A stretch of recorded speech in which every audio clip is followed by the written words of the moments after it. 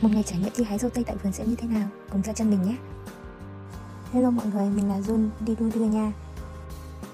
Hôm nay mình sẽ giới thiệu cho các bạn một địa điểm hái à, hoa quả tại vườn rất là thú vị. Mình bắt đầu đi từ Minh Khai và mình sẽ đi theo hướng ra cầu Nhật Tân nha.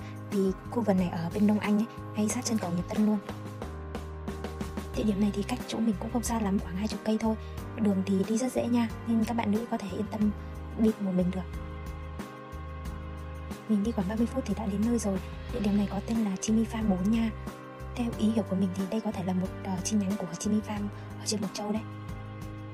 Vừa rẽ vào con dốc thì đã thấy một biển to đùng của vườn Chimi Farm rồi. Nhưng mà vì mình đi hơi muộn lúc này được khoảng ờ, gần 12 giờ trưa rồi nên mình quyết định là vào ăn tạm một cái gì đó rồi. Đợi đến chiều thì mới ra hái dâu. Vào đây thì mình sẽ không mất vé nha. Chỉ mất tiền gửi xe đó là 5.000 đồng đang trên đường đi vào order đồ ăn thì mình bắt gặp ngay trang trại kiều nên mình không thể bỏ qua nó được. Đứng lại đây, chụp check in vài kiểu ảnh rồi mới bắt đầu đi tiếp. Mình thấy có trang trại kiều, có cả dê, gà, ngỗng và có cả thỏ nữa các bạn ạ. Mình thấy thì địa điểm này có vẻ phù hợp với gia đình có con nhỏ, cho đi dã ngoại hơn. Đây là một vài bức ảnh mà mình đã chụp được ở đây nha. Xung quanh cũng sẽ có những chiếc xích đu để cho các bé nghịch nữa. Đây là thỏ nè, mọi người mình cũng có thể mua cỏ và cà rốt cho thỏ hoặc là thiếu ăn nữa đấy 10 đến 15 nghìn một bó. Bây giờ thì mình sẽ đi quay vòng quanh vườn cho các bạn xem nha. Chỗ này là vườn ờ, nho nữa đấy, Nhưng mà vì mùa này đã hết nho rồi. Mình có nghe các bạn và cô chú ở đây bảo là Đến khoảng tháng 5 hoặc tháng 6 là đã, nho đã bắt đầu có quả rồi. Đến lúc đó thì chắc chắn mình sẽ lại đi lại thôi, Vì mình rất thích hái các quả ở trên cây. Ở đây thì có thêm cả một lần chim nữa, Mình cũng không biết là chim gì, Nhìn nó cứ giống như là con vẹt đấy, Nhưng mà chắc là không phải mình đi một vòng cũng tham quan được hết ờ, vườn ở đây rồi. Thì chúng mình quyết định đi order đồ ăn. Ở đây sẽ có set nướng dành cho ba và bốn người và từ 5 đến 10 người.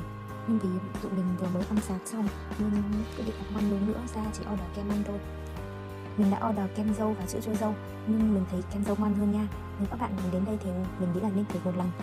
Mình mãi ăn quá mà quên mất không quay lại cái đoạn này, chỉ chụp được một hai bức ảnh thôi lúc này là mình và bạn mình đã ăn xong và đang ngồi đu một nơi một lúc để chuẩn bị ra vườn dâu, hái dâu.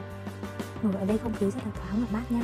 Mình nghĩ là đến mùa hè cũng không sợ nóng đâu, vì ở đây có những cái phong bạt ở trên xe hết rồi và có rất nhiều cây cối. Thực ra là mình cũng mới cách ly covid xong nên ở nhà bí bách quá. Ở một tháng ở nhà rồi nên hôm nay mình quyết định đi đến đây đấy. Lúc này là đang đi lối ra vườn dâu nhưng mà thấy bãi cỏ rất là đẹp nên mình quyết định đưa đi dựng ảo một lúc. Ui lên ảnh đẹp lắm các bạn ạ mình tưởng tượng đến mùa mà nho chỗ này ra quả thì chắc là phê lắm luôn. Ảnh đây nha mọi người. Nếu mọi người muốn trải nghiệm vườn dâu thì mọi người hãy lại quầy thu ngân để mua vé nha. Ừ, giá vé là 30 nghìn một người. Đây là đường ra vườn dâu nè. Ở xung quanh mọi người sẽ trồng rau như ngô hoặc là rau quả quả gì đấy. Lúc này thì đang khoảng à, một rưỡi nhưng mà trời hôm nay rất là nắng luôn. Đây mình còn thấy có một vườn đỗ và cà chua nữa cơ. À đúng rồi, ở đây còn có một vườn hoa tam giác mạch nữa. Nhưng mà vì trước mình đi Hà Giang mình đã chụp rồi nên hôm nay mình không vào chụp nữa. Đây mình đã đến cổng của nông trại rồi nha. Trong nông trại thì cũng trồng rất nhiều rau củ quả luôn Có cả cải bắp, su hào, xà lách hay là dưa chuột. Hi hi khúc này là mình muốn vào hình nên là bạn mình quay hộ cho. Mà mình không hiểu quay được gì thấy toàn là quay rau với quay chân thôi. Lúc mình xem lại thì mới nhận ra là mình chỉ xuất hiện một giây ở trong video đấy ra đến vườn dâu tây thì các bạn nhân viên sẽ đưa cho mỗi người một giỏ để đựng dâu như thế này nha. Tôi là trời, vườn dâu rất là rộng luôn mọi người ạ. Lần đầu tiên mình được đi vườn dâu rộng và to như thế này ở hà nội. Nhưng mà vì mình đi hơi muộn thì phải nên hiện tại dâu ít quả to và rất ít quả chín. Mình đi cả một vườn dâu mà chọn toàn quả to để hái thì được ít lắm.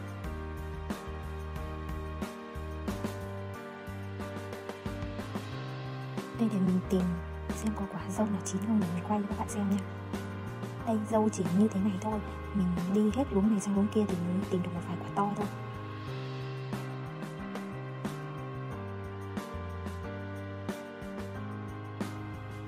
Đây dâu đây nha, mình quay thử cho các bạn xem.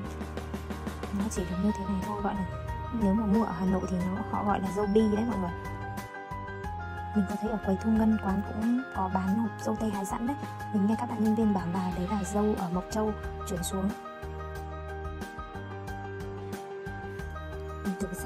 Ruộng ở phía bên kia xem có quả không.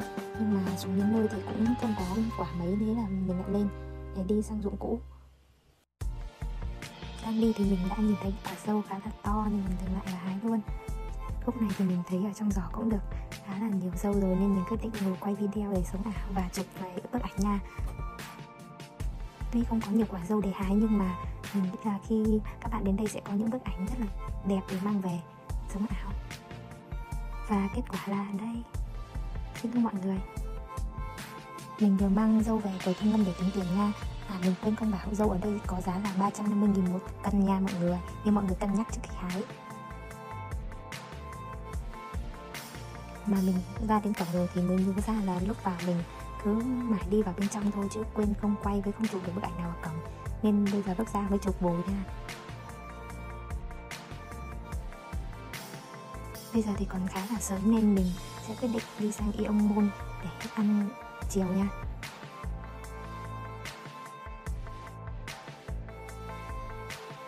Mình đi dọc theo bờ đê trên con sông đó thì đi sang đến Ion Mall Long Biên là khoảng 15 cây.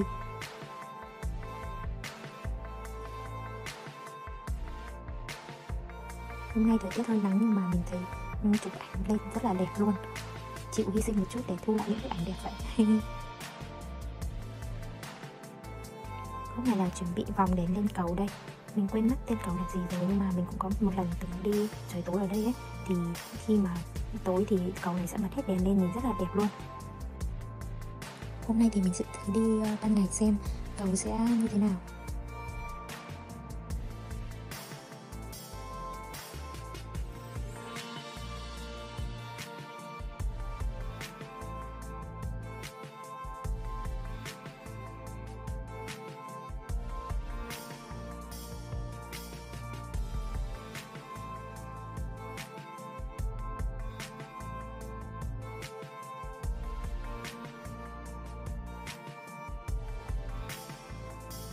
Mình sẽ quay thêm một đoạn lên cầu nữa cho các bạn xem nha. Thì mình thấy cảnh ở đây rất là đẹp luôn. Mình cũng hay xem phim Hàn Quốc, nhưng lúc mình đi ở trên này thì chợt nhớ ra đến những bộ phim Hàn Quốc ấy mọi người. Trời thì trong xanh đường đề cũng không nhiều xe cho lắm, rất là thoáng và mát. Mình thấy hôm nay là một buổi đi chơi rất là hợp lý luôn. Thời tiết cả ủng hộ nữa là đây đây mọi người ơi, mọi người tiến vào đến khúc giữa của cầu rồi đây. Mọi người thì nhìn xem có đẹp như mình nói không ạ? Ở dưới là sông, còn ở trên cầu có những trụ dây cầu này rất là nhìn rất là Hàn Quốc đấy mọi người. Và đây là kết quả của 15 cây số đây. Là đùi gà chiên mực rau mực chiên mực cả con um, sushi. Thiên đường ẩm thực là đây chứ đâu hả mọi người? Cảm ơn mọi người đã theo dõi video nha. Bây giờ thì mình đi ăn đây. Hẹn gặp mọi người ở video tiếp theo.